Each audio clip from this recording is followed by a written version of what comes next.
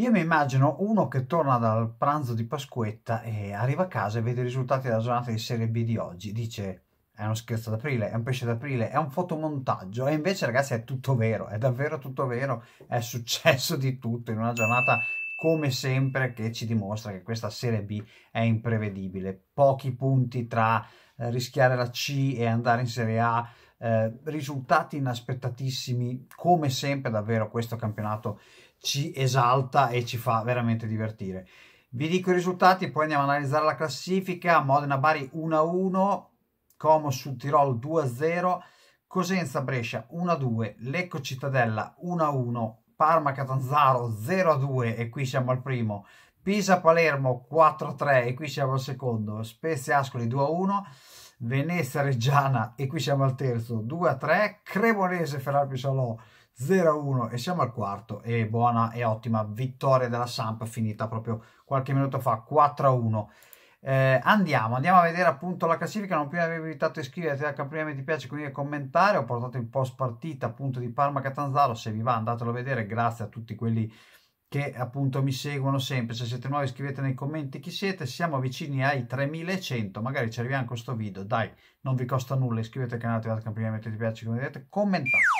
Seguitemi su TikTok, su Instagram, tutte le altre cose, molto nere, facile, mi trovate dappertutto, i link sono in descrizione. Dai che anche su TikTok voglio portare le live e arrivare a mille. Andiamo appunto, Lecco, ventesima posizione. Ragazzi, cosa vi devo dire del Lecco? Il Lecco oggi pareggia col Cittadella, una partita che era l'ultima, l'ultimissima ormai spiaggia per poter far salvare i Lombardi. Non ne approfitta, pareggia appunto in casa 1-1 col Cittadella e è l'unica squadra che secondo me non ha, non ha più niente da dire al campionato. Non me ne vogliano quelli che seguono il Lecco, che seguono anche me. Dispiace, ma 8 punti dalla penultima, 7 giornate dalla fine sono davvero, davvero, davvero tanti. Quindi niente per il Lecco da fare neanche oggi. La prossima con lo Spezia, altro sconto diretto al picco, tra l'altro potrebbe essere l'ultimissima spiaggia, ma ripeto, per me l'Eco ha già un piede in Lega Pro. Mi dispiace, ma è così. Feralpi Salò, 19 posizione, 30 punti. Una Feralpi Salò che io ve l'avevo detto, non date per morta o per finita la Feralpi Salò. Lo dico, lo dico sempre, l'ho detto che non è molto in un altro video, eccetera, eccetera. È vero, sì, inaspettatissima la vittoria di oggi a Cremona, ma è una Feralpi che non molla mai, che non muore mai, che vince appunto a Cremona tre punti fondamentali davvero avvicina uh, Ascoli e Ternana che oggi hanno perso e ora vede, vede vicino quantomeno i, i play out perché la Ternana ha 32 punti ed è la prima squadra appunto che in questo momento farebbe i play out complimenti alla Feralpi che non molla che ci vuole provare fino alla fine a salvarsi. Vedremo vedremo quello che succederà. Vittoria davvero davvero importante in quel di Cremona L'Ascoli invece perde, è un Ascoli che perde uno scontro velenosissimo contro lo Spezia, è un Ascoli che ha 31 punti, ora sì, per carità è tutto possibile, ripeto, da qui in su è tutto possibile perché sono veramente tutte vicine. Fate un calcolo, il Brescia ottavo a 42 punti, è la prima squadra in playoff in questo momento e eh, la Feralpi che è la penultima, quindi sarebbe retrocessa, ne ha 30, quindi sono comunque 12 punti, non sono pochi, però calcolate la differenza tra l'ottava e la diciannovesima, insomma, è veramente cortissima la classifica, soprattutto eh, fino al Bari, diciamo, dalla quattordicesima alla diciannovesima, tutti possono andare su, nel senso salvarsi, e tutti possono andare giù. So che sono ripetitivo, ma ci tengo a dire queste cose perché eh, molti probabilmente non, non, ci fanno caso e bisogna, è qui di fianco o di qua o di là, non lo so, dopo dove ve la metto la classifica e la noterete anche voi. Quindi è Nascoli che appunto perde questa partita importante contro lo Spezia, la prossima avrà il Venezia in casa, avversario tosto nonostante la sconfitta di oggi, quindi l'Ascoli lo vedo malino, malino, di queste qui è quella che vedo peggio. La Ternana perde 4-1 contro la Sandoria dopo aver pareggiato è andata sotto, ha avuto anche diverse occasioni per eh, provare a riaprire la partita sul finale, ma poi viene travolta appunto dalla Samp, eh, lasciando anche spazi ampi dietro. È una Ternana che però secondo me anch'essa può ancora dire la sua. Eh, come la Feralpi, la Ternana e lo Spezia per me sono tre che potrebbero ancora salvarsi. Ve lo dico senza paura a dire queste cose. È ovvio che se tutto va come deve andare, no, però la Ternana da, da Talantino, lo sapete, lo spero di portargli bene, ha perso, è una Ternana che è vero, nelle ultime 5 ne ha perse 3, non è sicuramente una bella cosa, però ecco, è una Ternana che comunque non mi è dispiaciuta stasera con la Samp, nonostante poi il punteggio sia più grosso di quello che in realtà, secondo me, si è visto poi soprattutto nel secondo tempo. Spezia, sedicesima posizione, vince, è uno Spezia che finalmente dà continuità, io ve l'avevo detto, lasciate lavorare D'Angelo e vedrete che farà bene, e appunto uno Spezia che vince uno scontro davvero velenosissimo all'ultimo sangue contro lo l'Ascoli, sono tre punti veramente fondamentali che gli consentono di agganciare il Cosenza e in questo momento potrebbe salvarsi. Eh, lo Spezia, io l'ho detto, se iniziano a capire che devono comportarsi da squadra grossa, perché ragazzi l'organico dello Spezia non è scarso assolutamente, è vero, hanno venduto parecchi, quello che volete, però lo Spezia non è da eh, quintultima posizione. Ecco, questo mi sento di dirlo, è uno Spezia appunto che vince 2-1 con l'Ascoli, eh, importantissima e settimana prossima appunto avrà eh, un'altra chance topica per fare appunto il quinto risultato utile consecutivo e magari la seconda vittoria consecutiva non me ne vogliono i lecchesi ma appunto Spezia Lecco è un match point da non fallire per provare veramente a evitare anche i play out per lo Spezia. Cosenza quindicesima posizione è un Cosenza in caduta libera è un Cosenza che non vince più nelle ultime 5 ne ha perse 3 ne ha pareggiate 2 è un Cosenza che perde contro il Brescia in casa una sconfitta che ci può stare perché eh, i, come si dice, i valori in campo sono diversi, però ecco, è un Cosenza che adesso deve stare davvero attento. Rischia, come ho già detto, di buttare alle ortiche una prima parte di campionato davvero buona. Eh, è un Cosenza che adesso vede lo Spezia che l'ha già agganciato e comunque là di dietro per sua fortuna Ternana e Ascoli perdono perché sono davvero tutte lì 30-34 quindi capite che eh, dalla Feralpi al Cosenza è tutto lì. È un'altra che rischia, perché se non si sveglia, rischia, è il Bari. Il Bari che pareggia a Modena, per carità ottimo fare punti a Modena, ehm, perché comunque il Modena, a, a prescindere, adesso sono molto vicini in classifica, però fino a qualche giornata fa si giocava molto meglio i playoff è un Bari che appunto va a prendere un punto a Modena prezioso, ma che anch'esso non riesce più a vincere. Io pensavo che con Iachini potesse svoltare il Bari 35 punti, un solo punto dalla zona playout. Modena, Bari, eh, scusatemi, Bari e Cosenza devono stare veramente attente. Anche il Modena, se continua così, però ecco, volevo dire Bari e Cosenza, adesso non so perché mi ha evidenziato il Modena, quindi dico Bari e Cosenza devono stare veramente attente perché là di dietro basta un niente per capitombolare.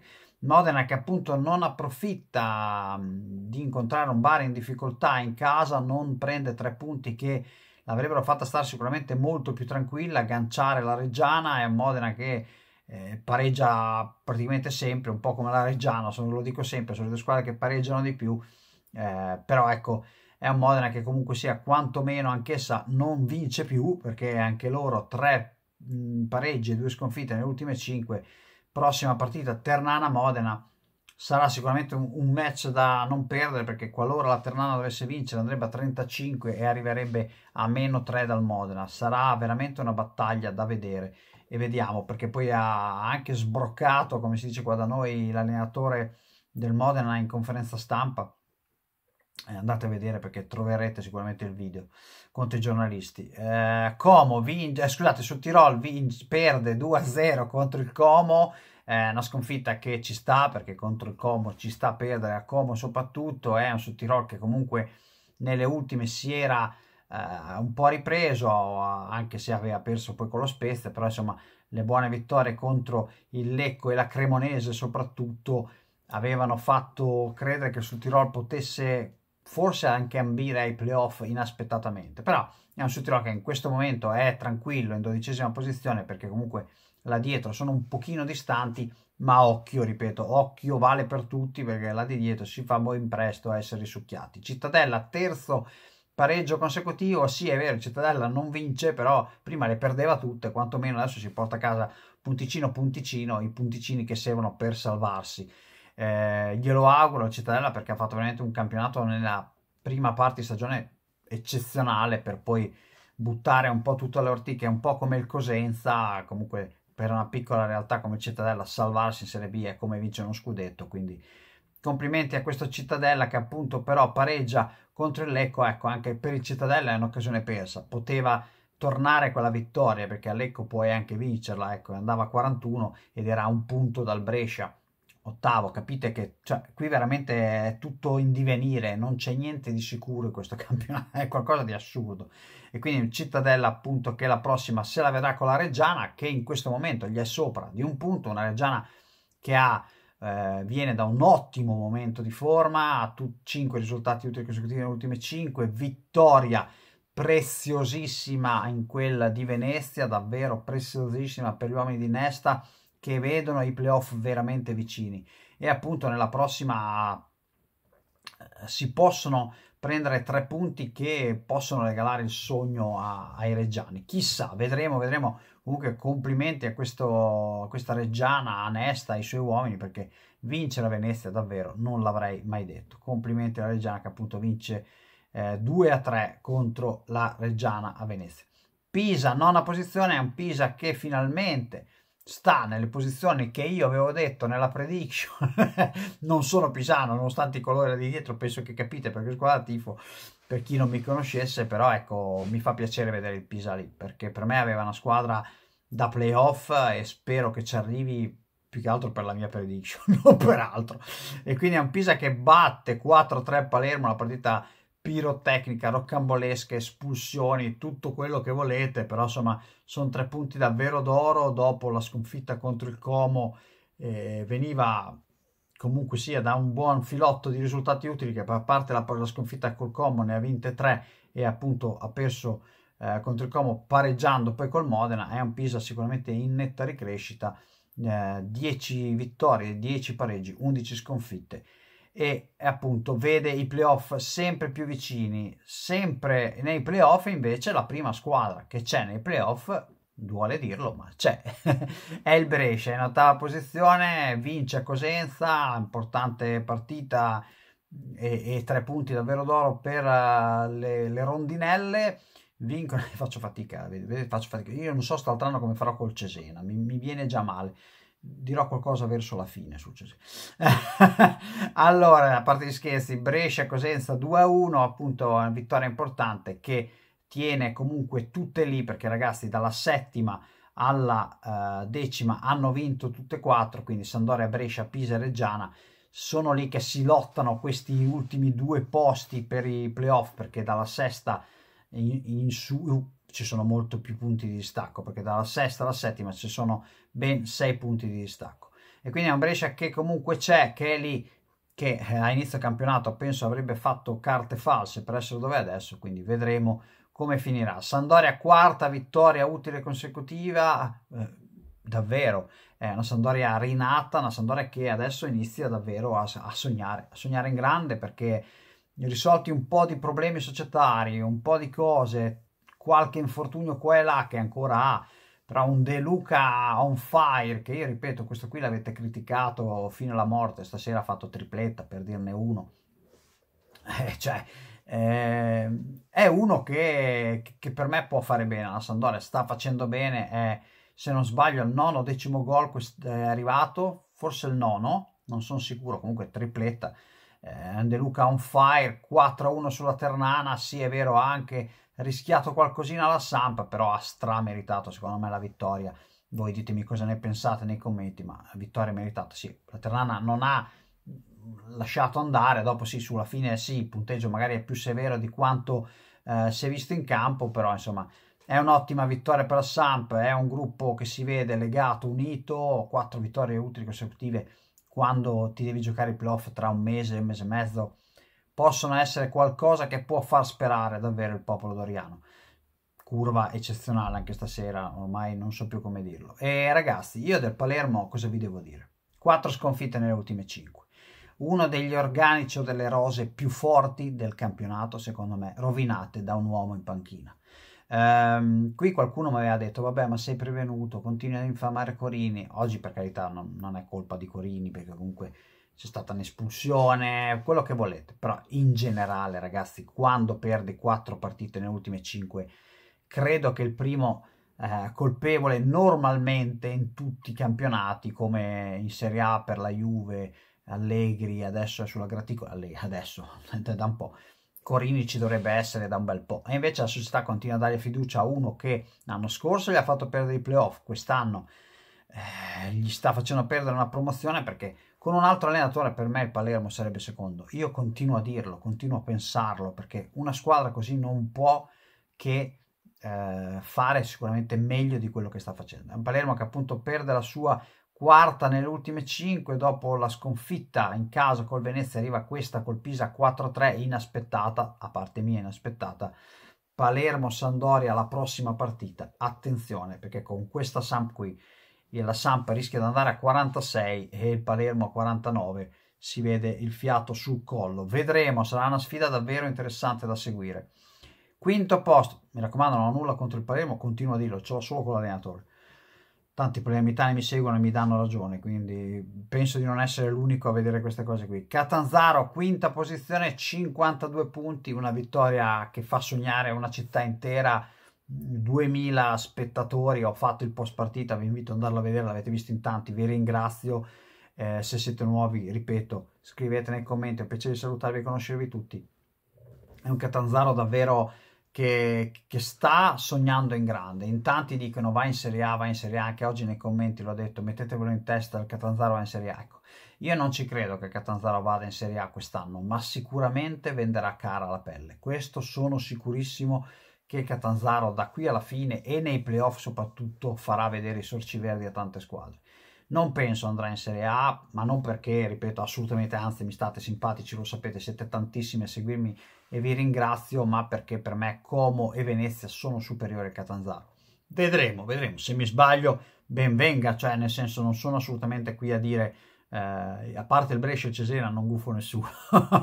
E poi porto male come vedete perché il Brescia sta andando bene il Cesena è dato in Serie B quindi evidentemente è solo io che porto bene a quelli che non devo portare bene. Battute a parte complimenti davvero agli uomini di Vivarini una gran bella squadra gioca bene oggi è vero è stata anche fortunata in un paio di occasioni traversa ha tirato due volte nello specchio e due gol mentre il Parma è stato molto sprecone però queste partite se te le porti a casa e poi quando hai le occasioni le segni e non le pari alle stelle, hai meriti di vincere. Io l'ho detto nel post partita e lo ripeto qui. Cremonese è riconoscibile.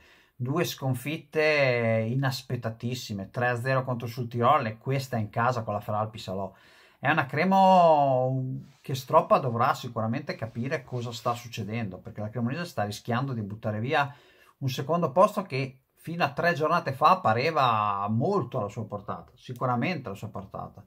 Bisogna capire cosa sta succedendo davvero in quel di Cremona perché è una sconfitta inaspettata, vero, ma anche dolorosa questa. Potrebbe veramente far male perché ha perso contro due squadre sicuramente inferiori. Eh, su Tirol e, e appunto fra Pisola non me ne vogliano, anzi brave loro ad andare appunto a vincere contro la Cremonese. Tra l'altro la Feralpi ha vinto in trasferta, quindi insomma non lo so, ma Cremonese che mi seguite, cosa sta succedendo? Ditemelo voi.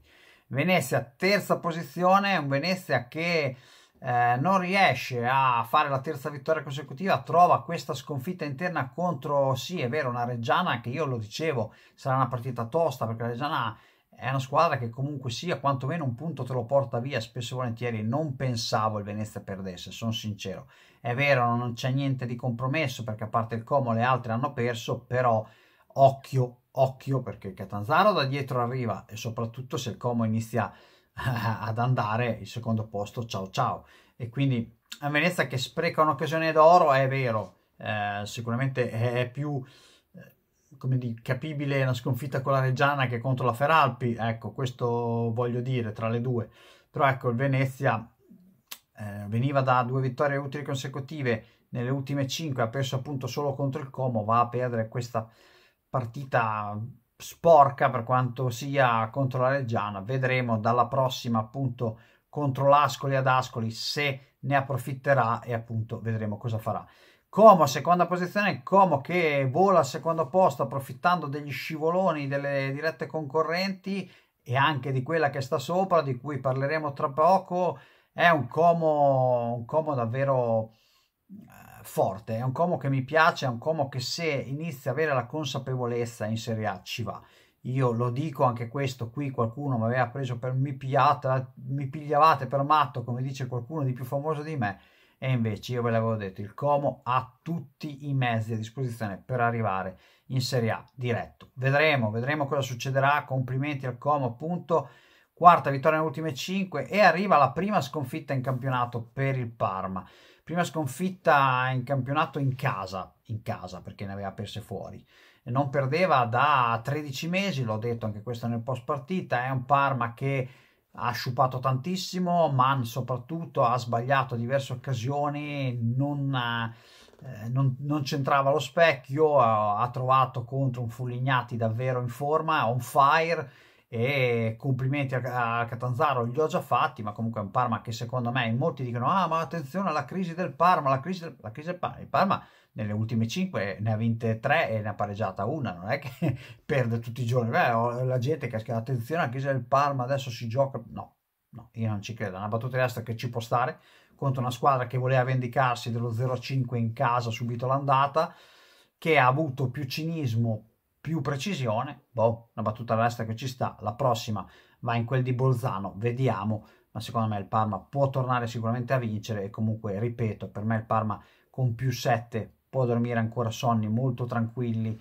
da qui alla fine del campionato e vedere sempre più vicina quella Serie A strameritata perché comunque è un Parma che ha dominato il campionato secondo me e merita sicuramente la Serie A. Ragazzi, grazie per aver visto il video, ci vediamo prossimamente con i pronostici, quasi sicuramente giovedì o venerdì, uno di quei due giorni lì, comunque sì, tanto escono sempre quei giorni lì, eh, pronostici Serie A e Serie B. Mi sono dimenticato di dire una cosa importante sul Pisa, che dirò adesso perché mi fa piacere di, di dirlo, c'è stata la doppietta di Tramoni che tornava da agosto da un brutto infortunio, aveva fatto solo una partita, entra e segna due gol fondamentali nella vittoria appunto contro il Palermo. Ci tenevo a dirlo perché quando i giocatori subiscono infortuni di 6, 5, 6 mesi e tornano e fanno gol mi fa veramente piacere comunque sottolinearlo, me l'ho dimenticato di dirlo nel, nel pezzo di, del Pisa, spero che quelli del Pisa mi abbiano ascoltato fino alla fine. Come sempre vi invito a iscrivervi al campanello, ti piace, con i commentari, seguitemi, è tutto gratis, grazie a tutti gli abbonati, grazie a tutti quelli che mi vengono a seguire anche su Instagram, su TikTok, su tutte le altre piattaforme che trovate qua sotto, mi fa davvero piacere se mi seguite su tutte le piattaforme. Ci vediamo presto, il vostro Monta, a domani col video recap della Serie A e se vi va, oggi è uscito appunto il post partita di Parma-Catanzaro. Ciao, alla prossima!